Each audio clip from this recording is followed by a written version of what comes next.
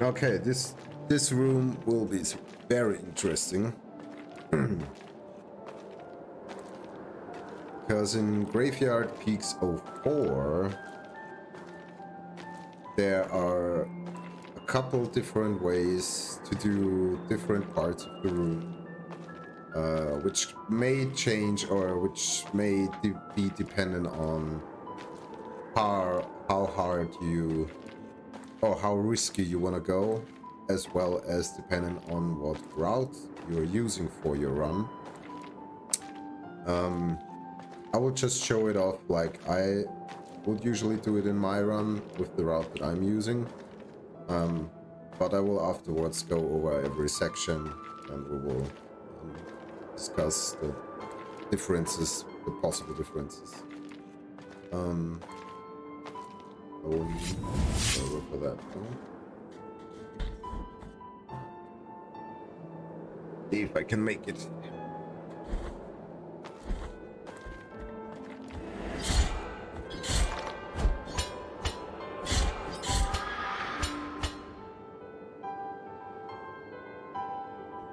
Wind.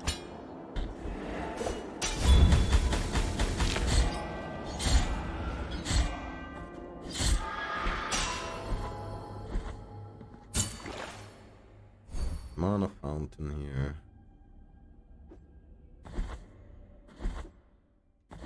Oh, we have very nice wind cycle.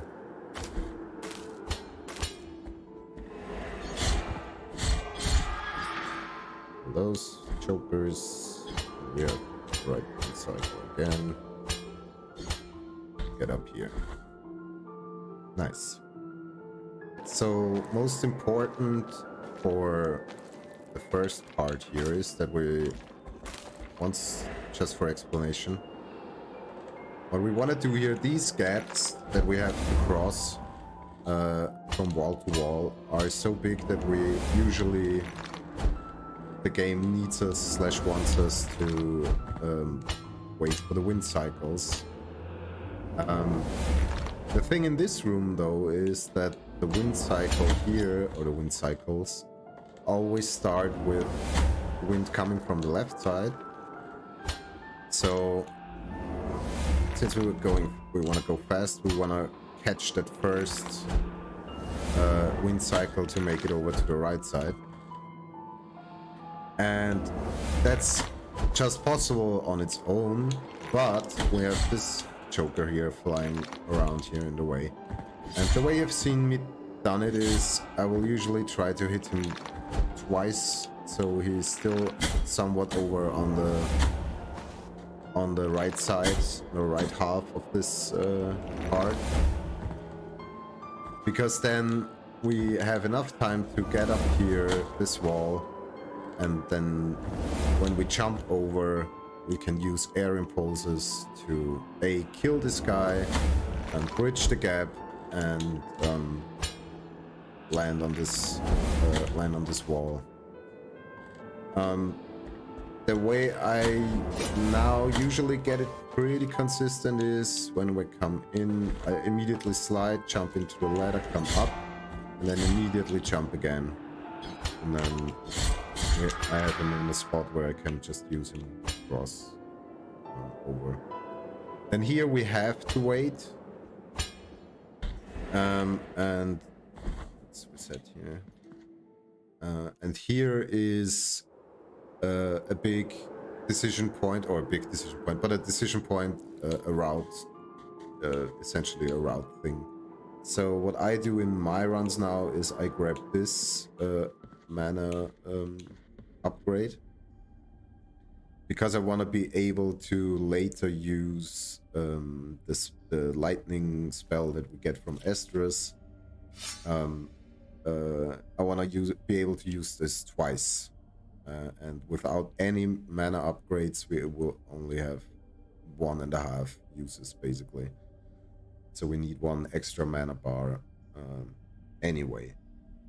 There is another very convenient spot later on in the run in the Mother of Mothers. Um, I will definitely, when we get there, explain it um, where there is also a pretty convenient way to pick up um, the mana the mana upgrade.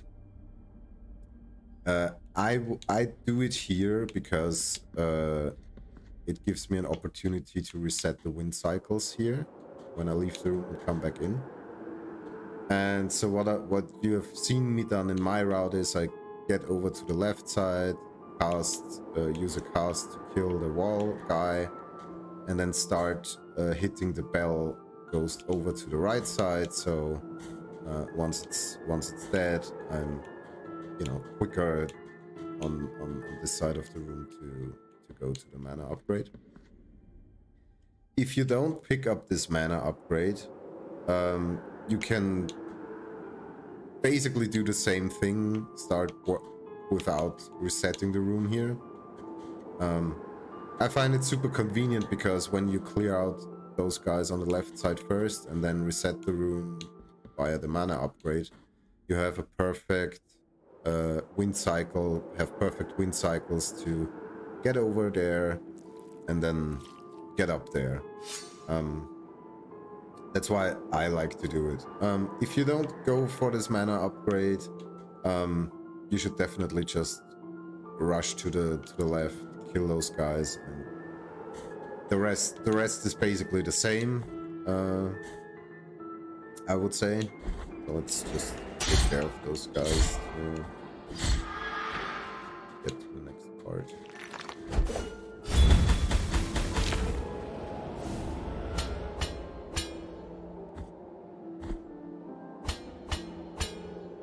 Uh, noteworthy, you can make some of those jumps when uh, when the wind is changing. There is like a brief period where there is no force pulling or pushing you.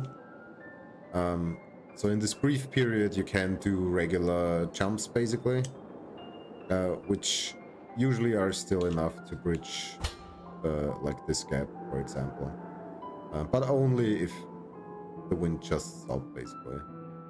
Um, but yeah, then once we come up here, we want to make use of of the wind uh, again, and then kill those guys as fast as possible, and then in this case wait for the wind cycle so we can cross this gap. Um, there is a point to be made um, for an absolute YOLO strat. So basically only taking care of the wall guy here with a spell, ignoring this ghost completely, and make your way up here and ignore the other ghosts. Well, I'll, I will give it. I will give it a try. Let me come back up here. All right, through the power of video editing, we're back here. so let's try the YOLO strat.